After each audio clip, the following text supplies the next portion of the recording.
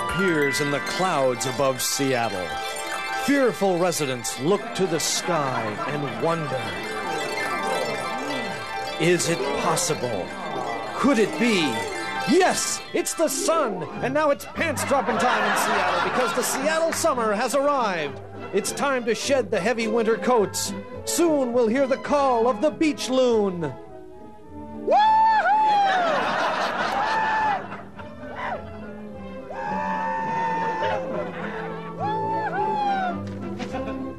I got that two o'clock uh, dental appointment.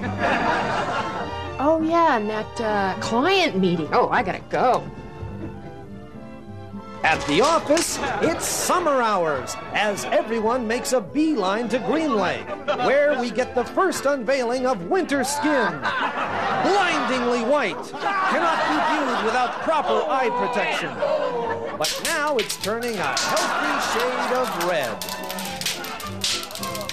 Time to take soap and water and scrub off the dirt and grime to get your car ready for fun and recreation. Grab your jogging shoes and bicycles. It's tons of fun. Never mind the blood. Summer is fun. Summer is. It's.